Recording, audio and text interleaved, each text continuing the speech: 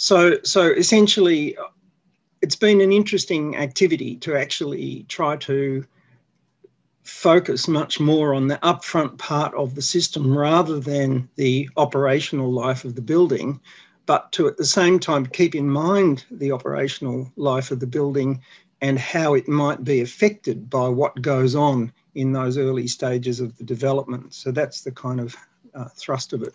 Uh, the, oops, where am I? Oh, hang on, this is, ah, right sorry, when I clicked a button there, it stopped my system working. Anyway, the second paper is uh, essentially, as I said, burrows down into thinking about a lot of aspects uh, in the design and development process that can have very long-term implications for the uh, appliances, uh, both both their operation and maintenance and so on. So they're they're the, the sort of the topics that I've looked at. Um, I wanted to start first with something which is not covered in that much detail in the papers, but uh, I think that the climate issue is just so important. And in fact, one of my frustrations is that most public policy tends to focus on uh, annual greenhouse gas emissions. And we constantly hear this argument about whether or not Australia will meet its 2030 uh, Paris target and things like that. And I guess the, the fundamental issue to me is that the underlying driver of the climate problem is actually the very high concentration of greenhouse gases in the atmosphere, which are shown in the top graph on the right of this. And you can see that we're now up around 500 parts per million when we take into account all of the greenhouse gases. And uh, that's come up from a starting point a few hundred years ago of about 270. So from that point of view, uh, we have had a big growth and you can see that it's skyrocketed in, in recent years. Um, the, the lower graph talks about what's called radiative forcing due to greenhouse gases. And again, the key thing is that what the greenhouse gases are doing is absorbing energy that was going to leave the Earth and then re radiating back uh, part of it to the Earth. So it is effectively like, like increasing the intensity of the radiation of the sun. And again, that's showing uh, the similar sorts of trends that we've had. Um, another way of looking at the issue, which I think is, is also useful, is what we call the carbon budget approach. And essentially, this is what highlights just what a challenge we have because uh, to remain within the 1.5 degrees centigrade uh, temperature rise, plus or minus a bit, uh, we've only got seven years worth of emissions at, at the present level of global uh, emission production. Uh, so we are we really really have to change fast and this means not just reducing emissions this means shutting down emissions and extracting greenhouse gases from the Earth's atmosphere. The other point on the, the far left slide is just that the vast bulk of global greenhouse gas emissions are essentially associated with our burning of fossil fuels. Now, the sorts of implications that we need to think about, um, if we look at the temperature of the Earth you know, on average, it's it's a normal distribution. Um, so we have a few hot days, a few cold days, and a lot of days in the middle. And the thing is that we have already shifted that the mean or the average about a degree or so. And in doing that, you can see what happens is that the percentage of hot days goes up much more than you might expect just by looking at a little change in the average. And that's, of course, because we're going up that steep slope of the normal distribution curve. So the problem we've got is that if we have another degree or so of warming, we are going to have another doubling on top of the quadrupling that we've already got of hot days. And that has enormous implications for many aspects of our buildings. Uh, and I'm sure you're familiar with, with all of these. But keep in mind, we're trying to design our buildings to last 50 or 100 years. And so we need to plan ahead when we look at the kinds of challenges that we might face. Um, with, for example, um, bushfires becoming more intense and over wider areas. There are other things too. Our, all of our infrastructure is becoming more stressed, and both individuals and societies are facing serious financial impacts uh, as uh, land use changes. There's also the deep psychological problems that we're starting to face. And I think the COVID experience that we've had about uncertainty uh, is really just a warmer for what the sorts of things that a lot of people in a lot of parts of the world are going to be dealing with. Lastly, of course, businesses are facing serious supply chain issues of all kinds. Uh, both with their own supply chains, but with government policy changes, and also, of course, with consumer expectations. So there's, there's an awful lot uh, going to change in the next few years. Looking at Australia's residential greenhouse gas emissions, the, the three main bits are uh, transport, which um, is an important thing to think about when we're deciding where we're building uh, a house and, and, how we're building it. Uh, then electricity, and the last bit, the blue bit, is essentially everything else, of which about two thirds is gas and the rest is wastes and refrigerants and bits and pieces like that. Um, embodied energy uh, and emissions is not built into the, the official government uh, forecasts and data. So I've, I've pulled out some work uh, done by um, Australians estimating the emissions uh, associated with residential construction at about 20 million tonnes. So you can see that's actually bigger than the gas and everything else part. So embodied emissions is already a big issue and it's going to become much bigger uh, as we reduce the emissions from electricity and, and uh, electrify transport. So um, there are some good things. The EPIC database is a very useful resource and has lots of documents as well as the data. And also there's a really exciting new partnership of, uh, if you like, a customer alliance that's been, been led by the World Wildlife Fund um, called MECLA. And I think that is going to be quite a powerful force in the marketplace.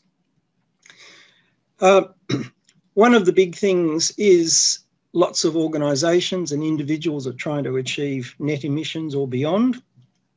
And the Council of Australian Governments, which has now got a different name, um, did have a big agreement in which uh, they committed to develop trajectories towards what I find a bit, a bit disappointing, really, net zero emission and energy ready buildings, right? So we're going to go for net emissions and we're going to be not achieving net emissions, we're going to be ready, whatever that means. Um, and so the policy area is a very busy space at the moment and there's a lot of good work being done, but it is very much focused on uh, operating emissions and there are all of the usual tensions we see in the building industry between not doing too much and uh, being leaders. And of course, really, if we step back, uh, we do see a lot of uh, other views about what we should be achieving and we need to think about are we thinking about life cycle emissions, transport emissions, um, and for example, the government, the Australian government runs a, a, very good program called Climate Active, where they provide guidelines for doing carbon audits and things like and things like that. And um, they say that we should include what they call significant scope three emissions. And scope three emissions are the indirect emissions, such as our transport and our air travel and the um, other associated major things in, in, and can include food as well. Uh, also, a lot of people are trying to restore our environment, and that is can be built in as part of this as well. Um, then once we start looking at the practicalities of managing energy demand, we can see we have serious issues with peak, de peak demand. Uh, we have new technologies like energy storage uh, appearing. And of course, there's lots of other emissions. Uh, as we move more towards heat pumps, I think there'll be much more focus on uh, natural refrigerants and low global warming potential refrigerants. on a positive front, the architects are out there with the Architects Declare program, and I'm sure AIA people can tell you much more than I can about that. Um, and I think the other thing that's interesting is that the expectations and the accountability uh, of professionals and tradespeople working in the building space are increasing, and not just on climate and energy. Um, uh, Bronwyn Weir spoke in one of these sessions recently about, about the work on fire safety and, and uh, quality of building and things like that. So we're seeing a lot of stuff happening. One area that's quite a useful example of um, the kind of accountability issue that's emerging is the Victorian uh, Residential Efficiency Scorecard, which uh, at the moment is voluntary and there are trained assessors who can look at this and they essentially look at the building envelope as built, uh, they inspect it, and also the major fixed appliances and equipment like lighting uh, and rooftop solar. And you get a rating on that, on those things. And also there is actually a summer performance rating too. And this is a response to the feedback that the government got that people are becoming increasingly concerned about uh, summer performance of homes uh, and not just comfort, but indeed health. Um, now, it's likely, well, it's likely that this will be national, and it's also likely that over time it will become mandatory. And of course, the Australian Capital Territory have had a mandatory uh, star rating requirement for existing homes for 20 years or so. Um, and the NABERS rating scheme has been mandatory for commercial buildings, or at least office buildings, for over a decade now.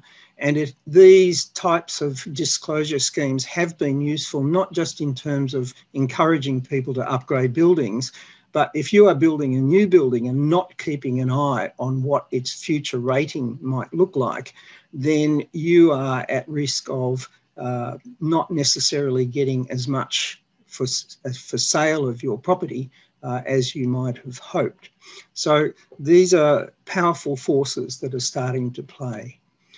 Um, this slide just shows an excerpt of a table from the first of my the papers, and essentially uh, this you can see from the approach here, it it looks at location and site, which highlights transport and uh, land clearing issues, uh, embodied emissions, operating emissions, and right through to end of life uh, and unavoidable impacts. And what I've tried to do here is give some practical examples of the sorts of things that could be incorporated by designers into clauses in contracts or formal procedures for managing things or is, uh, to be a focus of inspections or monitoring um, and which could also be used as criteria when you're selecting your team. Um, and these are all the kinds of strategies that a designer um, can bring to bear to influence all of these areas. Um, again, we're seeing a lot of change in the building area, and I, I, thought it was useful to talk a little bit about apartments as an example of that. Um, really, the, the large apartment buildings that we're now seeing in many parts of, of Australia are relatively recent. And they are very different projects from the kinds of traditional residential projects that we've had. Um, and we, I think, are still struggling to uh, address some of the issues that they, they have. And at the same time, I think they also reflect some important uh, issues that are that are emerging. Um, so this is just one of a couple of case studies that, that are in the, the paper, and you can see that in fact the biggest contributor to the emissions of this particular uh, high-rise apartment building was domestic hot water. Uh, appliances was, and cooking were pretty big, lights were fairly big, uh, ventilation and heating and cooling also. But um, this highlights the existence of centralised uh, energy systems in these buildings, which can be very different from uh, the traditional residential. Another thing that's really standing out with um, apartment buildings is we are getting a lot of complaints about overheating uh, apartments. Uh, and to some extent, there's a, clear tension here between uh, getting excessive solar gain versus the views and the daylight that people want in these buildings. Um, and of course, often these buildings are purchased by someone who never plans to live in them, so they don't actually think too much about some of these issues. We're also seeing increasing challenges with humidity, condensation, water vapour, and indoor air quality. Uh, not just in apartments, but more widely as we build tighter, uh, thermally better buildings. Thermal bridging, I think, is a much under recognised issue in Australia. And when you start looking at the heat flows from a concrete balcony that feed into the building via the concrete slab, you look at the thermal bridging as the concrete slab uses the brick walls above and below it as a thermal, uh, as a fin. Um, there's a lot more here than uh, most people have looked at yet in Australia. Um, and obviously noise is an issue. Another really important thing is that once we move beyond walk-up apartments, um, people start thinking about, oh, what if the power fails and I'm on the 20th floor um, and the air conditioning goes off and the lifts fail? So there's really interesting questions here about the resilience that we might have to face.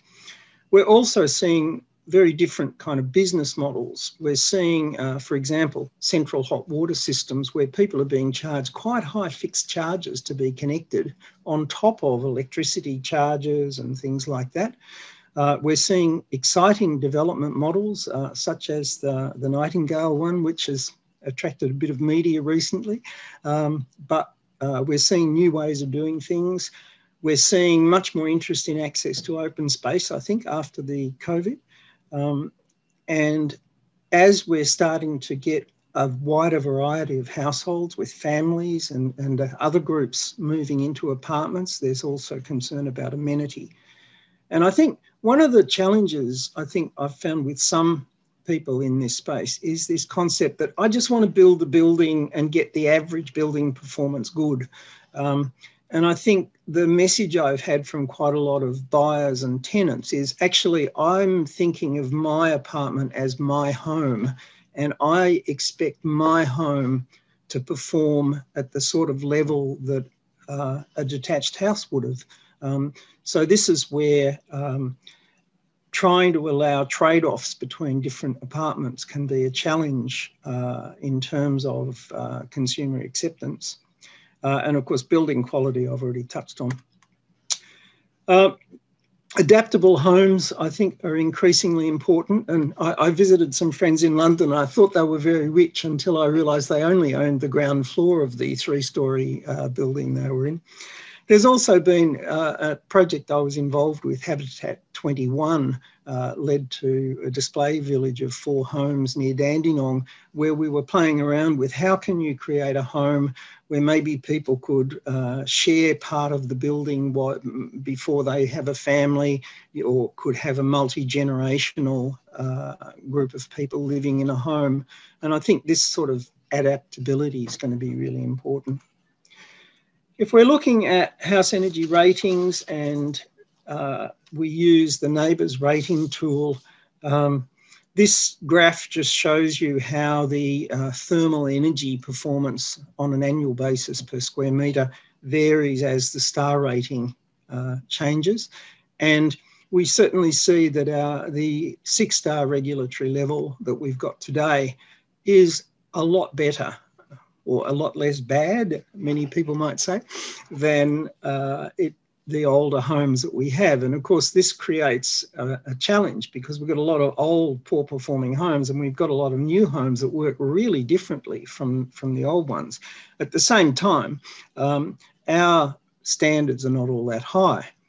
One of the uh, unfortunate kind of consequences of the way we've approached our house rating, which is using an annual star rating or megajoule per square metre thermal energy number, is that in a lot of climates um, that are cooler, uh, you can get the problem that uh, the building may work really well in winter, but very badly in summer, because essentially people can get up to the six star regulation level by focusing on winter building performance. And indeed, a dark roof and no eaves can improve your star rating in some climate zones, which is kind of uh, a bit perverse. And that's where in the 2019 building code, uh, there was a bit of a change where in at least some climate zones, they are now requiring not only the annual uh, energy performance, but also separate summer and winter performance requirements. And this is the beginnings of confronting this problem of poor performance in summer. And I, I think that can only become a bigger issue over time. Another thing about the rating tools is that they do an hourly simulation of zones in the building or even separate rooms in the building uh, as part of the rating. And it's possible to access the data on that. And so you can actually look at uh, you can select, you know, a hot period, a cold period, and you can look room by room or zone by zone at the free running performance of those parts of the building. And I think this is a much underused design technique because you can start to see which building, which part of the building is going to work well or badly when, and you can play around with the design. So I think that in a sense, the separation between rating and design is unfortunate. I think they should be much better integrated. And of course, the, the leading people are doing that, but I think we need to see more of it. Glazing is an enormous issue. And uh, if you look at the insulation value of glazing, even pretty good glazing uh, compared with bulk insulation in a wall is very poor insulation. And a single glazed window, if there's a lot of air movement over the inside uh, film of air, also is pretty poor. Um, and I think we are going to have to do a lot more thinking about glazing. And I'll, I'll give a bit of a plug for uh, low emissivity coated double glazing because uh, the common name for low E coatings is heat mirror. And uh, as you can see in this picture, uh, basically a low E double glazed window compared with a standard double glazed window actually has a significantly warmer indoor temperature and can be provide much, much higher level of comfort than you might expect. So I'm a bit of a fan of that. We also have to think about uh, peak demand. Uh, as I said, we're confronting uh, extreme increases and the peaks are when the electricity system is at greatest risk. The grey parts here show the heating and cooling are the dominant issues, but there's also cooking in winter, appliances and so on are, are big issues as well. Okay, so now I'll move on to the my the second paper, which starts to get into a bit more nerdy stuff, I guess you could say. Um, but I think this is also where you might think, as you're designing, where am I putting provision for the dishwasher or the fridge? How much space am I leaving? How long are the pipes? There are a lot of issues here that really are significant for the lifetime of the building uh, and that we, we need to look at. Um, just again, to put some context, if we look at the Australian level, unfortunately, our Australian data is not very new. Um, the most recent data we have is from 2014. Um, the people who did this study are working on an updated analysis of residential uh, energy use, but um, again, this just reflects a serious problem in Australia that we have a lack of focus on the demand side of energy. Um, everyone's so captured by getting excited about renewable energy and arguing about whether it's good enough or not and gas and all those things. The, the issue is we, we need better data on the, the demand side. But you can see in broad terms uh, how the electricity and gas are being used. Um, and that appliances, uh, electric appliances, are quite a big issue, which is why there's a separate pie chart here, uh, just looking at the breakdown of the electrical appliances. And you can see fridges are big, and uh, televisions and general IT are pretty big. But one of the interesting things to me, though, is that this is overall uh, emissions, not each individual home. And so when we look here and we look at, say, apartment common areas at 4% of residential emissions, pool uh, electricity, sorry, uh, appliance usage, sorry, um, and pool electricity at 8%, what you've got to keep in mind is only about 10% of homes have a pool. Um, so if you have a pool, your pool is pretty big as an issue for you to think about. On the other hand, if we look at clothes dryers at 1%, um, what this tends to suggest is, oh, 3%, whatever, um, what we've got to remember here is that some people might be using a clothes dryer very intensively for a few years while they've got young kids, and then the clothes dryer is just sitting there not being used very much. And the average usage, which is what shows up in this pie chart, is actually not very frequent use of clothes dryers. But people who have certain circumstances can really use them very heavily.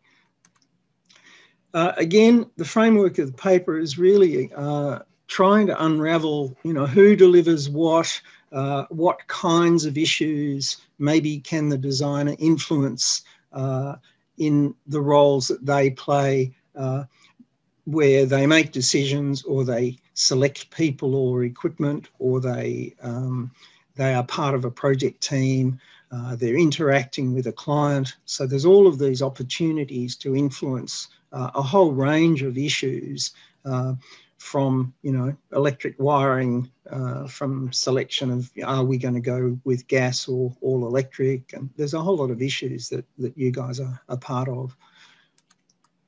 Uh, and again, I guess an issue for me that is a bit frustrating is that lots of people, I think, see rooftop solar as a uh, silver bullet. And let's be clear, rooftop solar is fantastic, but it's not a silver bullet. And this graph shows that even in December, you can get in Melbourne some pretty low solar days. And of course, in winter, you have a much lower solar radiation on average. And so we, we need to factor these things in. Um, and this is going to have some interesting implications for, for the orientation and sloping, for example, of our solar panels as, we, as they become cheaper. Um, there's going to be a lot of interesting change here. And at the same time, the best solution to me is to take an integrated approach. And that's where you start with efficient, flexible, smart, connected equipment um, because that minimizes the amount of energy supply infrastructure you'll need and it gives you maximum resilience because a good building won't cook you very quickly um, like a bad building will. Um, so from that point of view, uh, integration is really important. And the exciting thing is there are just so many options which I've kind of flagged there with um, energy storage and on-site renewables and new business models for power purchase agreements. There's just so much happening. It's amazing. And we could spend hours talking about just those things, which we're not going to do. Uh, there's also significant trends in the performance of appliances. And this is my attempt to look at the stock performance uh, in 2014 and 19 and then what what could you achieve if you bought the best products on the market? So the grey bar is showing you that there's still quite a lot of potential in a lot of areas um, to cut your emissions and electricity use uh, if you make good choices of the best appliances and if people use them fairly sensibly. Um, I won't go through these, but these are sort of my wish list of all of the sorts of uh, techniques and policies and things that we might apply uh, if we were to achieve um, the sort of performance that I think we should we should see as normal. Uh, a key thing for us is information. And one of the important sources of information is, in fact, the appliance labelling program that I, I, was involved with in the 80s. And I, I declare that we, um, we just stole the star rating from the hotel scheme because uh, we wanted something people understood and it's worked. Um, the thing is, you can see on the right there that quite a lot of products now carry energy labels, which is good. Uh, and they do make a big difference because each extra star, depending on the product, can be 15 to 30% improvement in energy performance. So a star is worth quite a bit. Um, one thing a lot of people don't realise is that some of the scales have run out of stars because the traditional label is a six star label, for which, by the way, the first star you get uh, if it meets all of the safety requirements. So there's sort of one star, then five stars for performance. Um, but we now, uh, if you go over the five stars, you are now entitled to have what they call the coronet of up to 10 stars. Um, and if you're buying a television or uh, a, a clothes dryer, the best of the products are up in the sort of eight stars, nine, 10 stars range. And so a four star TV is actually pretty bad. Um, whereas a five star fridge is the best pretty much you'll get on the market at the moment. So you, that's where you should look at the consumption numbers to look at the real issues, and also you should look at the rate uh, at the uh, website to see what are the most pro- most efficient products in a given area. Um, there's a new label being phased in for uh, reverse cycle air conditioners, which has three climate zones because we recognise that uh, reverse cycle air conditioners work better or not so so well in different climates. Um, also, one of the traps for beginners is that they have actually adjusted the rating scales in a number of uh, products, particularly fridges and reverse cycle air conditioners. So uh, I have friends with a 1990s fridge, which has got a five star label on it, which is actually one and a half stars in today's uh, rating. Not so fantastic. Um, so that's useful. Choice Magazine, um, in the fine print of their comparison tables, have quite a lot of good energy data. And of course, Your Home is a very good resource as well. Um, again, the paper goes into a fair bit of kind of practical detail of getting things right um, with selecting appliances, thinking about peak demand that might be uh, occurring if you put the wrong appliances in, um, recognizing that, for example, some appliances have quite high standby losses. Um, if you use them a lot, that may not matter much, but if you're a small household, that can be really important. Um, long pipes uh, can be an issue, uh, poor user interfaces, uh, all, all sorts of issues are there to be thought about, and I've tried to discuss as many as I can. The picture here shows one of my bugbears, which is about poor user interfaces. And in this case, this is a mixer tap. And if you look really closely, you can see a red dot and a blue dot. But most people who use that tap have no idea what they're doing.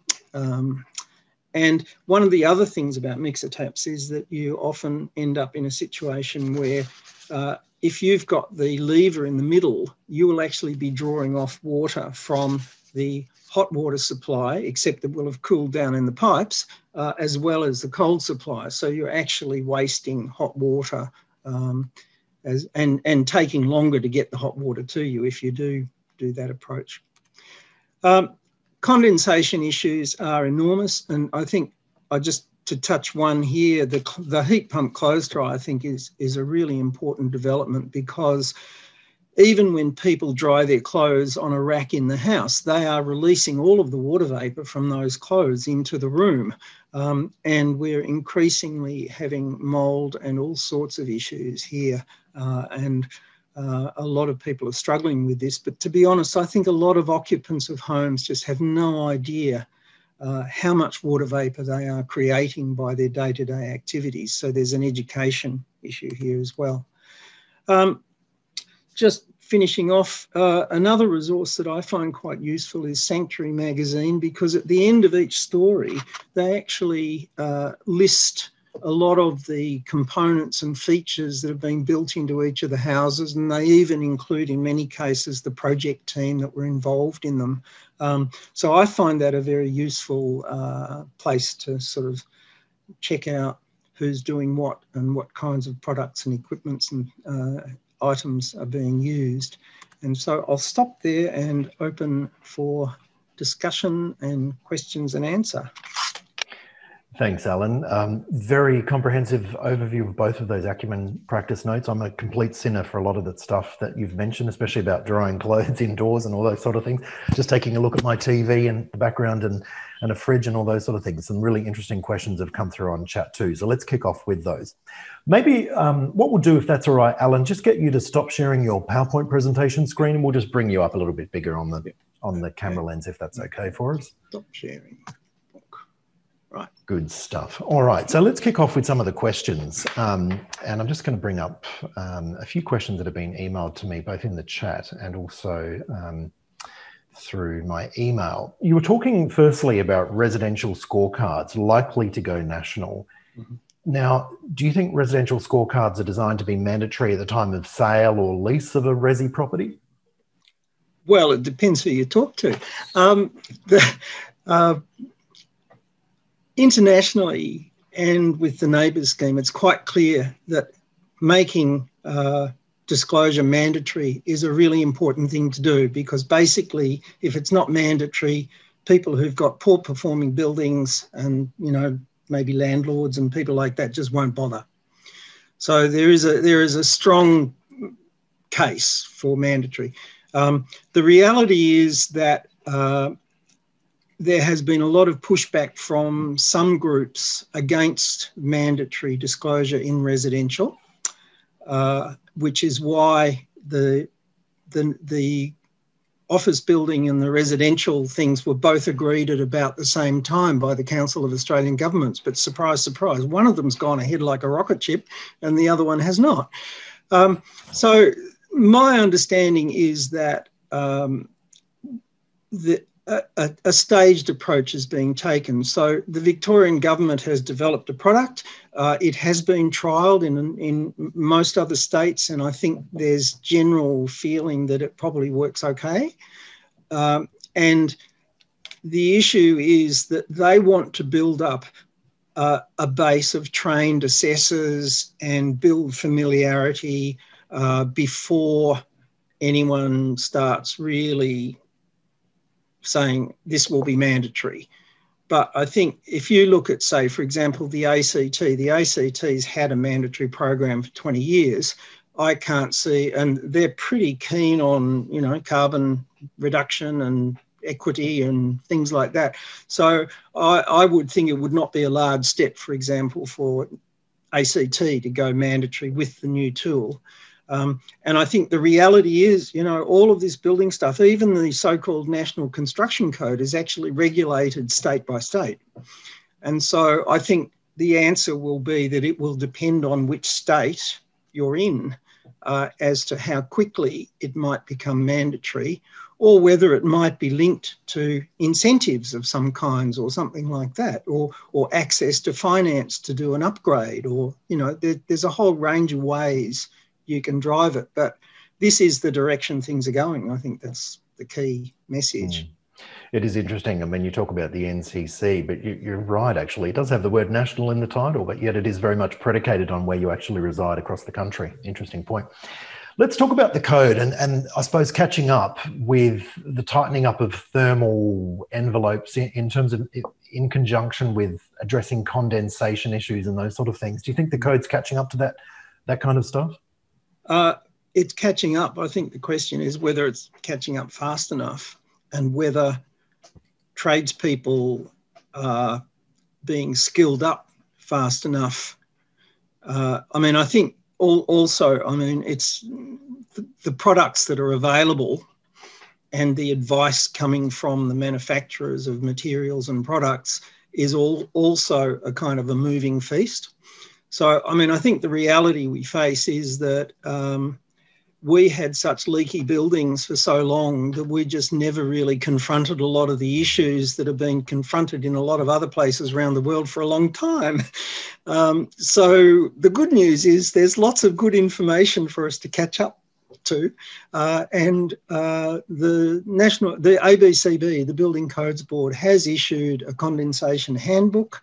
Uh, and my understanding is that there's a fair bit of work going towards the 2022 National Construction Code that will drive the, the dealing with condensation and things like that harder.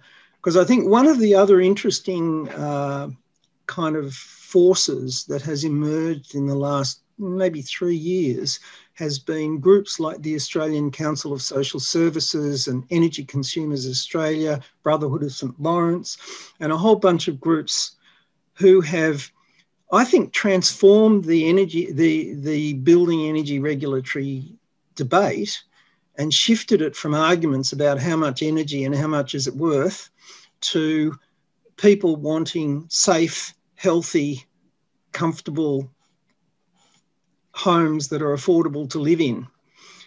And that, that has changed the fundamental debates a lot, I think.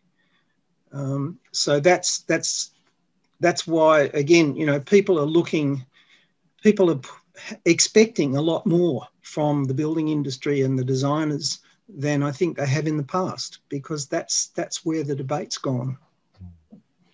Let's. Uh, this is the final question that we've really got, and it was, it's come off the chat box, and this is really interesting. You've seen over COVID, I suppose, that a lot of people being stuck at home and you know with lockdowns and stuff have invaded JB Hi-Fi, have gone to Harvey Norman, and have bought the latest flat screen, and have you know upgraded all of their white goods and stuff like that. And a couple of questions have come through, really interesting ones. One from Belinda, one from Michelle the balance between replacing and updating old appliances, those ones that might only have a low star rating, with those new ones that seem to feature, you know, five or six stars in terms of embodied and operational emissions. Michelle raises this point and she's saying, are we consuming more in terms of you know goods and services or i suppose you know actual white goods etc in order to save energy? And what's the trade-off there? You know built-in obsolescence she says is a real issue and that's absolutely correct it would be good her comment is more of those appliance makers have a recycling buyback scheme where you can bring back old appliances for a discount on the new ones that you purchase. What are your thoughts on that? Well well in fact in the second paper i, I, I have a case study I think it's the second one, one of the papers, uh, I have a case study of a fridge, in fact, and um, point out that uh, the embodied emissions associated with a fridge are actually only equivalent to the savings over a couple of years if you are replacing an inefficient old fridge with a new one.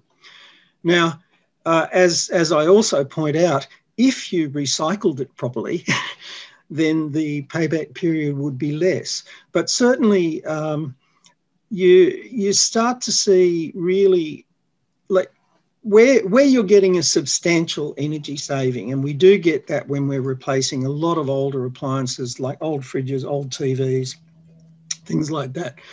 There's there's a pretty clear cut net benefit, and that net benefit is improved if you reprocess and recycle it properly. Um, as you know, as the gap between the new and the replacement one gets smaller and smaller, obviously the, the payback does get longer. Um, so that's that's sort of the, the nature of the world. But um, again, one of the interesting things, um, again, uh, for instance, Apple have uh, documentation on all their products on their on their website showing the life cycle em, uh, emissions, including you know the embodied and and the um, system level and and the user emissions. And once you start looking at, I mean, if you're using an iPad or you know note note notepad kind of device to watch TV instead of a normal television, you are way ahead. so um, yeah, there's there's interesting things about uh, people's behaviour and preferences and things, you know.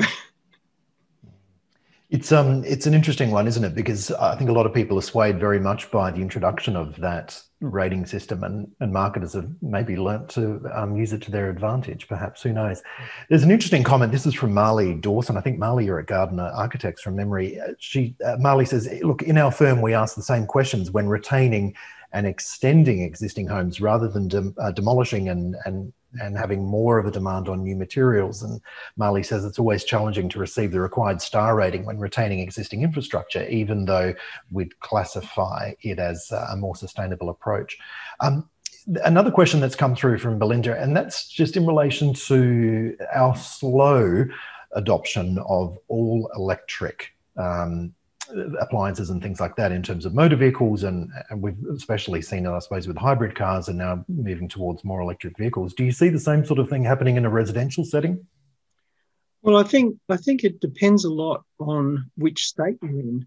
Uh, i mean if we look at victoria the reality is you know something 80 85% of victorian homes are connected to gas and we have a deep culture and we have an industrial base that is focused on delivering gas appliances and gas supply and all of those things.